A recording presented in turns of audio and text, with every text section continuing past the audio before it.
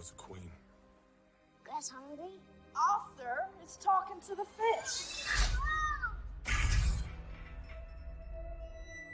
They were from different worlds. They made me what I am. Permission to come aboard? Your half brother is about to declare war upon the surface world. The only way to stop this war is for you to take your place as king. Trust me, I am no king. You do your best thinking when you're not thinking at all. That was the worst pep talk ever. My brother has come to challenge me for the throne. I call it an ass whooping. A war is coming to the surface,